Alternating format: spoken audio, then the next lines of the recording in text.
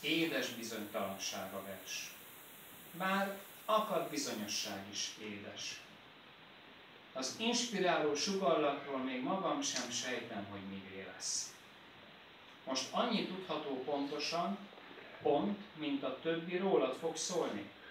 Cselekmény nélküli történet. Nem oszt és nem szoroz, mikor, hol, Részleteiben esetleges, ám tisztán látni a kifejletét.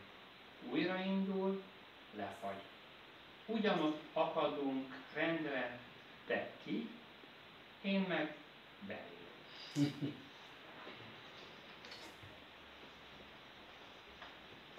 Bátai Tibor, járkálni már egy éjkerben.